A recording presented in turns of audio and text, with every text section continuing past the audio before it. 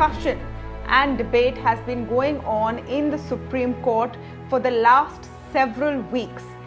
It's a decision that, when taken, will impact a whole host of borrowers, including individual borrowers, corporates, various sectors of the economy which have been pummeled by the COVID 19, and of course, the largest impact will be on the banking and finance system.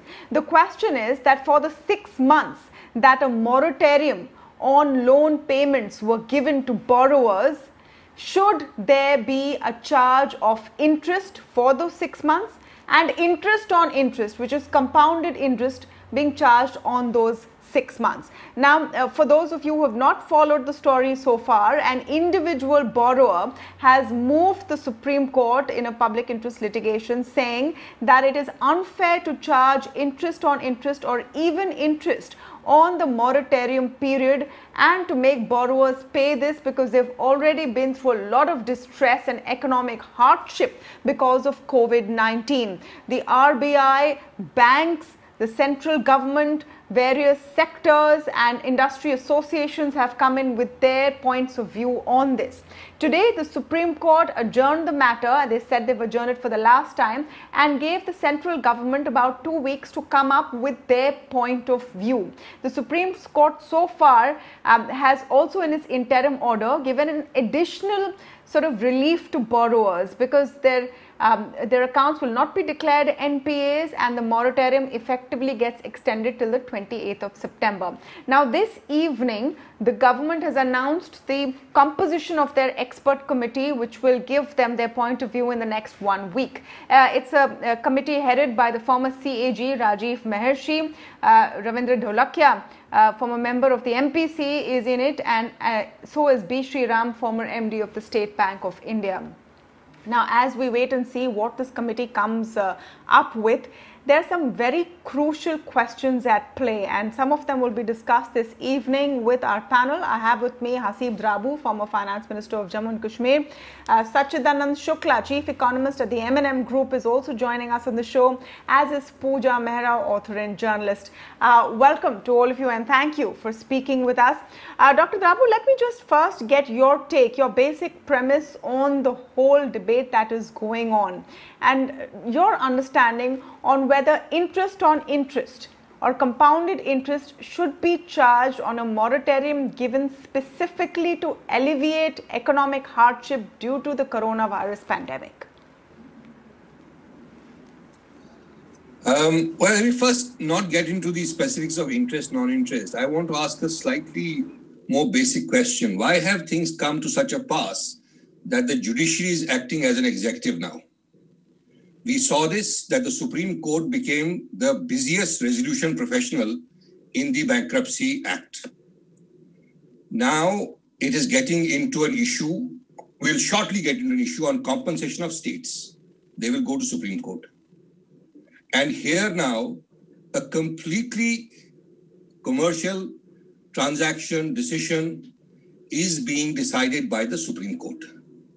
My first question, which is a rather crucial question you start off with, is how have things come to such a pass that the judiciary is now acting as the executive? They have absolute, with no disrespect to any uh, judicial body, fact is that this is not a dispute between borrowers and banks. It is not an either or. These are decisions that have huge implications and require an understanding of the rather complex functioning of an economy in times such as these, which are unprecedented. So, really, before you even get to asking whether interest on interest and interest on borrowing should be charged or not charged by individual banks, you need to understand that uh, this is not a bank versus borrower dispute all of us are in this in some way or the other. Governments are in trouble, banks are in trouble, borrowers are in trouble. So you need a systemic solution yeah. rather than a judgment coming from the Supreme Court of India. That is one. Second is why has this issue come up? Interest on interest and interest on borrowings is a regular issue, right? That's not the core issue. That's a consequence of how things have been handled, starting from the restructuring package to the COVID package to everything else that has come as government policy. Banks have serious issues which need to be looked at. Yes, they have an attitudinal problem. Today, banks are doing what is what I call park and pray. They are parking their money with Reserve Bank of India and praying to God that this will pass. That is no solution. They have serious issues of emerging non-performing assets in light of the capital adequacy, mostly PSU banks struggling to maintain capital adequacy, have not been capitalized by the union government, though it started four years back when Mr. Jaitley was the finance minister. He had announced a package. I don't know where, where that has reached. And banks fundamentally are risk averse, and I don't blame them in this situation. Also, the major player in this uh, thing uh, is today not really uh, visible. Instead of the judiciary, it ought to have been the Reserve Bank of India. So it's not, again, uh, you know, interest versus interest. The more basic question is about funding of interest, not so much of charging of interest. The problem is that today you have a situation where, for a variety of reasons, a pandemic is not a government's creation, but the responses it have been such that you have created a situation where there is only one problem in the system, which, which I think is critical in this context, is that for every borrower, whether it is a small borrower, a large borrower, an individual borrower, his, her credit lines are blocked. You need to restore the credit lines. The issue of interest will automatically get resolved. So my basic thing is that you need to see it in a framework that allows you to find a solution rather than look for a judgment from a court which will look at it in terms of the legalities and technicalities, which is the last thing that should be on your mind today.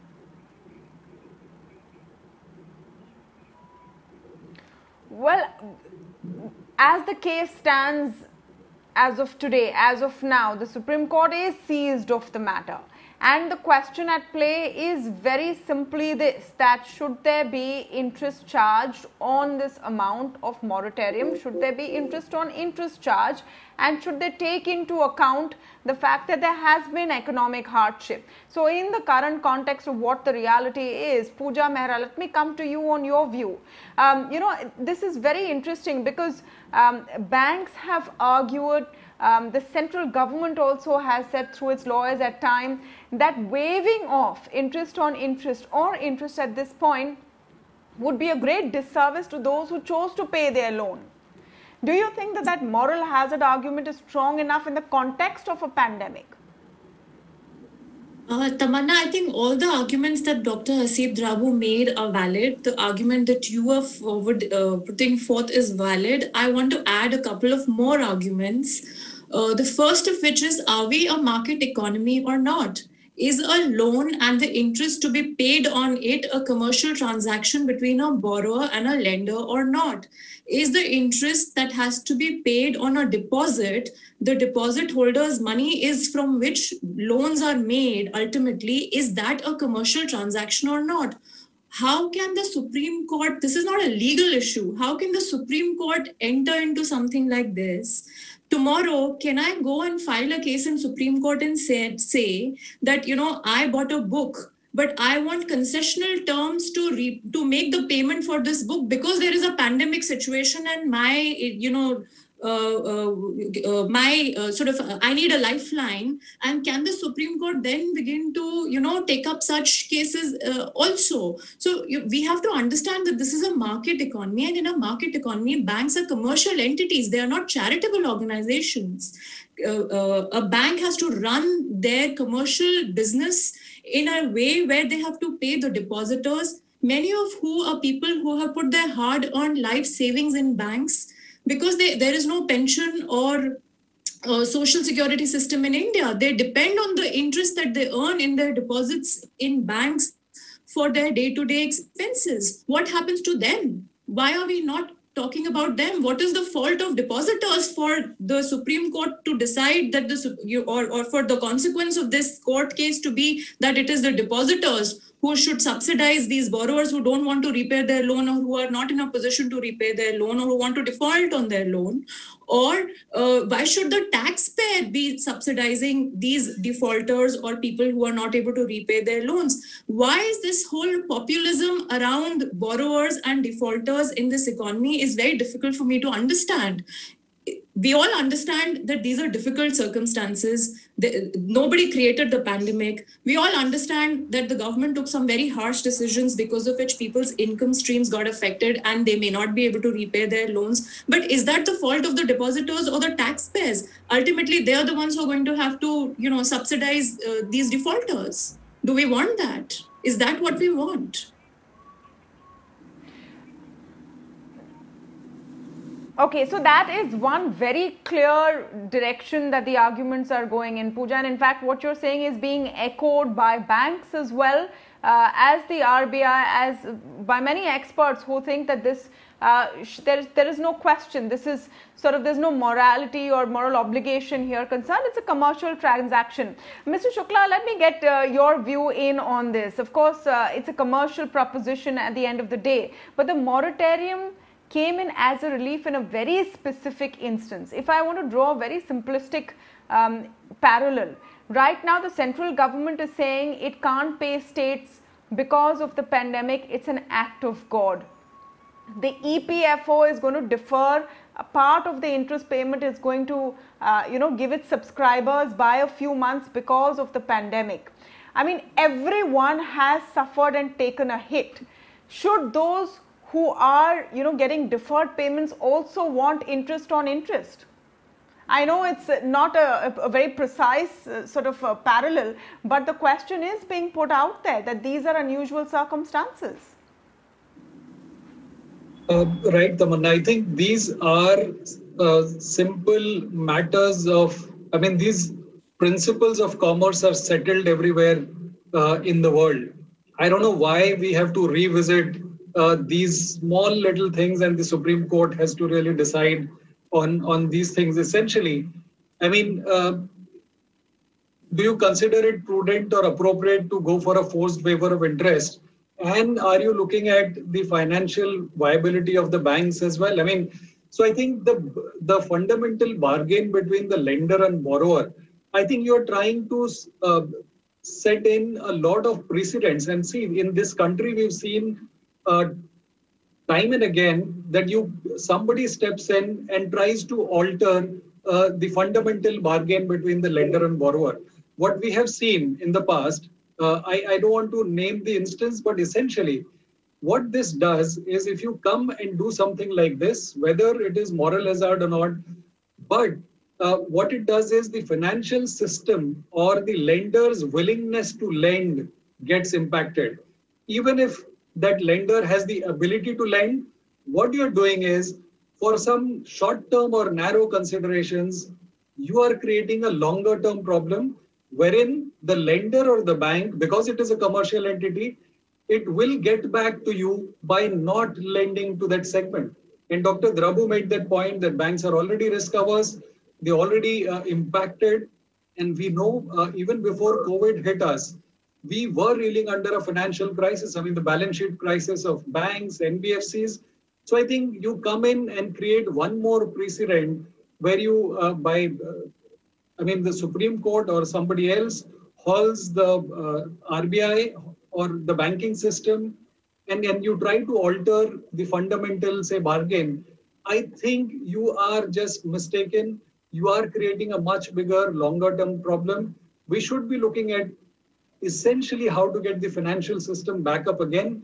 You can't be doing this in IBC. You can't be doing this for little, little things like whether or not you should be paying interest. I mean, it's it's settled as a, matter of uh, commercial principle anywhere else in the world. And, and there are bigger problems for the government, for the regulators to fix, rather than just uh, uh, give explanations to Supreme Court and, and uh, judges on whether or not you should be charging interest on, on loans or interest on interest. So I think we've got bigger matters at hand.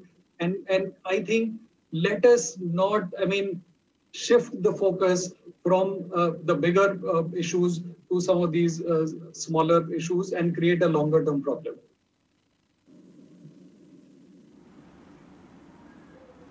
Okay, so now the options for borrowers who have uh, hit upon hard times and cannot repay are several. Restructuring has also come into play and that perhaps may alleviate some of the pain. But Dr. Drabu, let me come again on the very simple basic question I started with because this is what people want to understand. One can understand paying interest on a loan that you have taken, but interest on interest during the period of moratorium, is this standard banking practice that no one should have an issue with today? Well, let me just kind of, because I, I heard Puja also and uh, uh, Mr. Shukla also. I think there's no dispute that borrowers need to get relief. I have absolutely no doubt in my mind about that. The only question I'm raising is who should decide what the nature of the relief should be. It can't be Supreme Court. That is my limited point.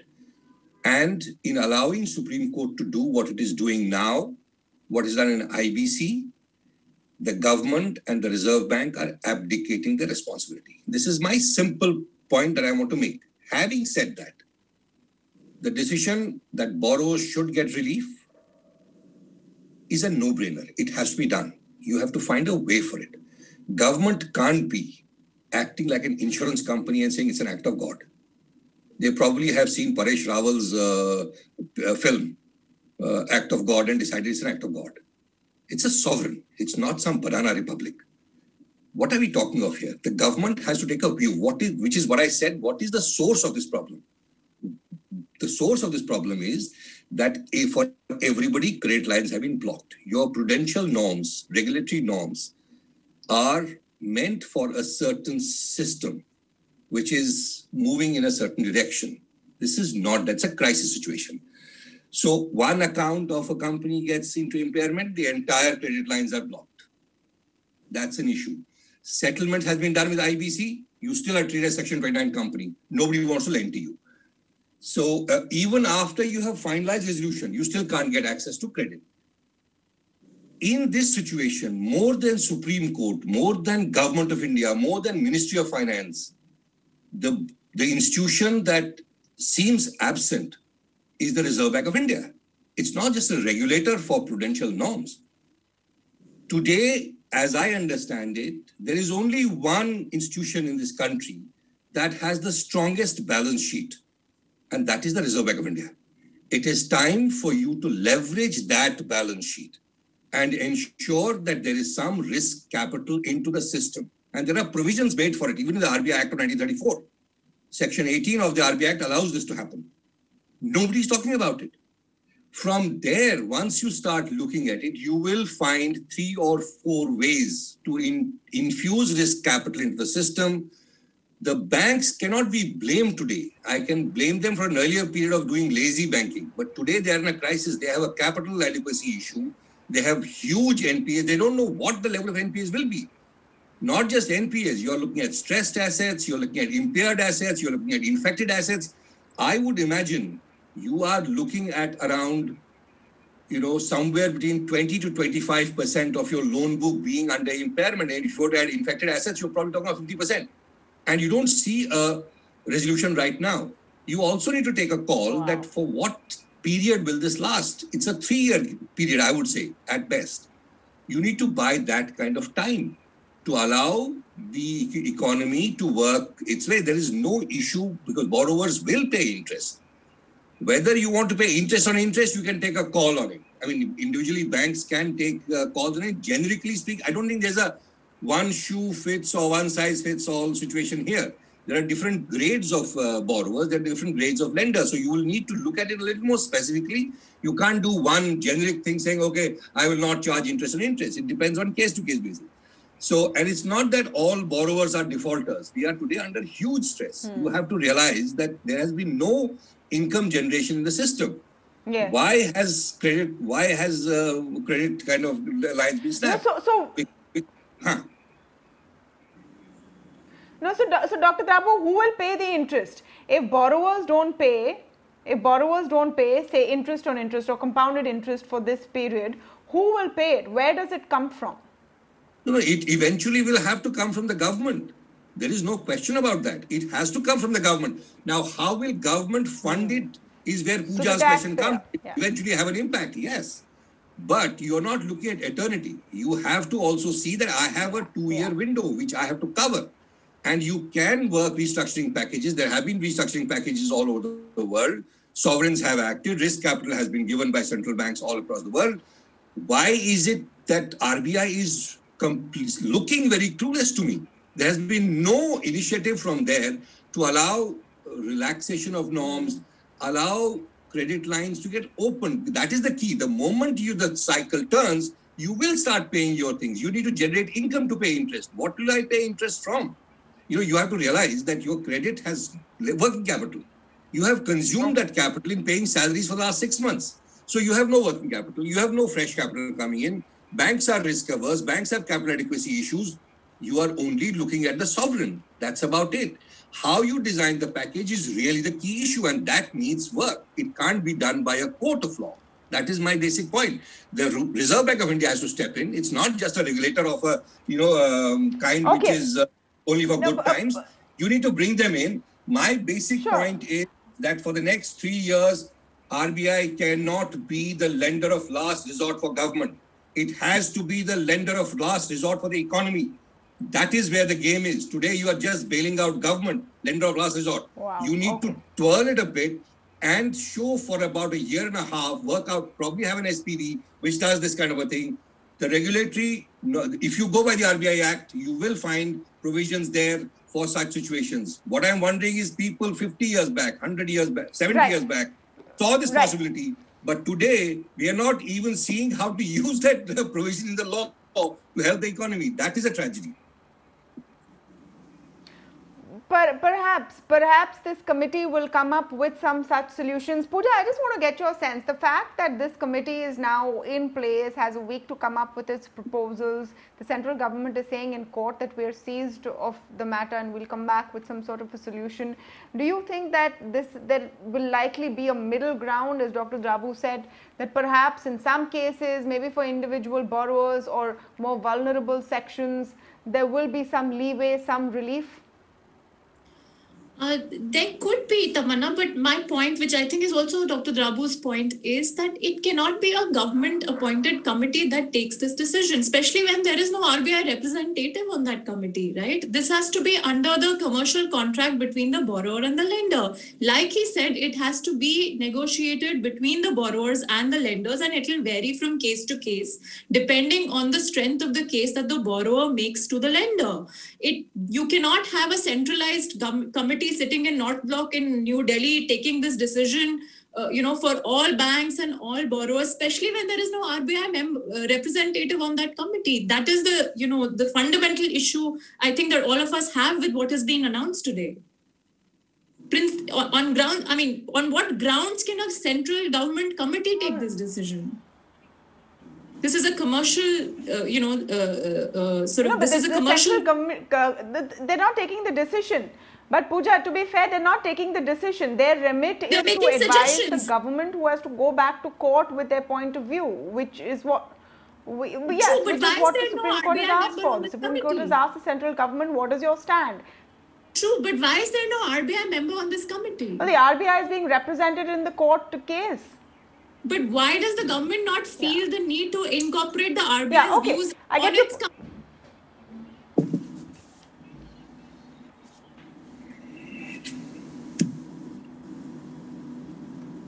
Okay.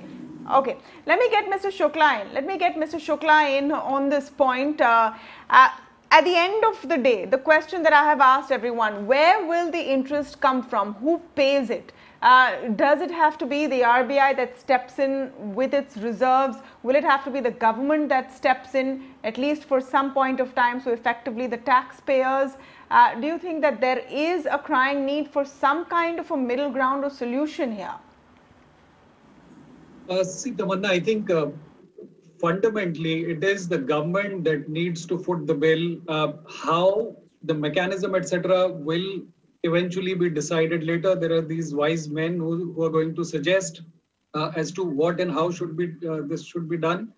But I think if you think about the banks, right? I mean, look at the public sector firms or, or banks, they have access to deposits and, and other borrowings, but they don't have the profit margins or equity capital to really uh, lend onwards, right? Uh, Dr. Drabu just pointed out NPAs are going to rise, and actually, you as a as a commercial lender do not even know how much are they going to rise by, right? Because we haven't really had the handle on the essential problem, which is the spread of the virus.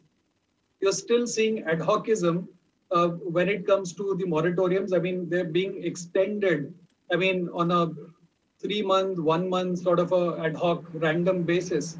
Elsewhere, it, it's pretty clear cut and, and uh, predefined. I, I don't think you should be toying around with this uh, three months, six months, and one month extension sort of a thing. So I think look at the capability of the banking sector as well.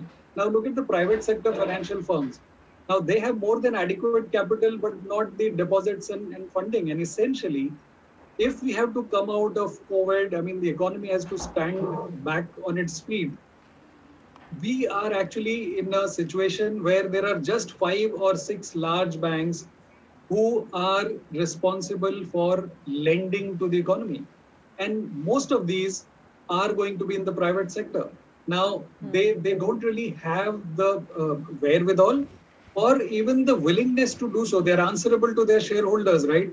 Why should they be taking disproportionate risk when it comes to lending or taking these hits? So, for example, uh, this yeah. committee of wise people suggest something, even that can be uh, hauled up in, in courts of law. I mean, given the way things are. Uh, even the RBI has said that these are commercial entities, they're financial intermediaries, and you should not really be uh, doing what you're doing, right? So I think ultimately it is the sovereign, it is going to be the government which has to foot the bill.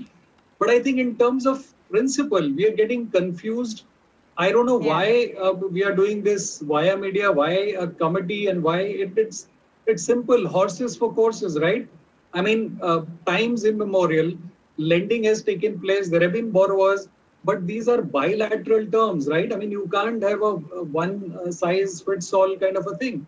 So even if, right. say, for example, one week from now you get a, a great set of well, recommendations, even then an individual borrower can, uh, I mean, uh, put you to task or, or take you to court. So essentially, we're getting confused on the principle and as long as we don't treat these as commercial transactions, which are well settled in law, I think we'll continue to beat around the bush.